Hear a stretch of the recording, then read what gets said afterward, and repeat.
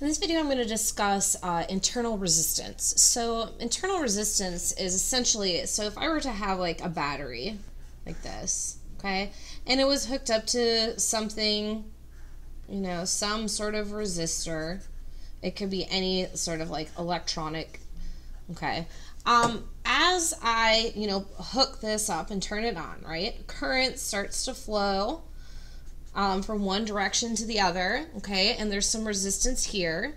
But also, as the current, you know, travels through the battery, what ends up happening is that there is some resistance in the, in the voltage source. So internal resistance is resistance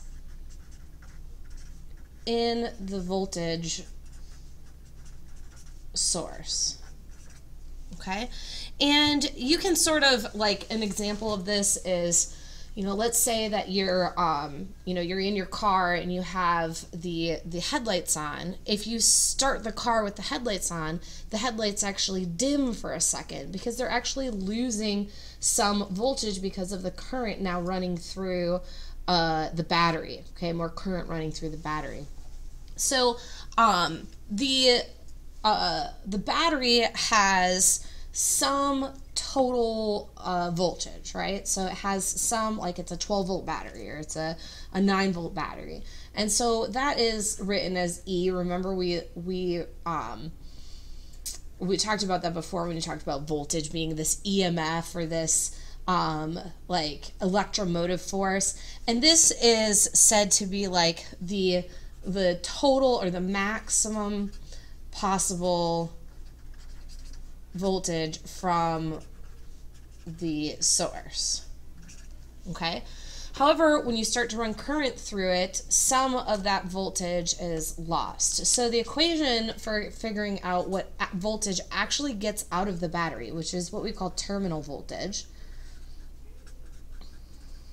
okay, is taking the total that the um, the source has, right? So if it was a 12 volt battery or 9 volt battery, minus the current times the internal resistance. So this is the current, and this would be the internal resistance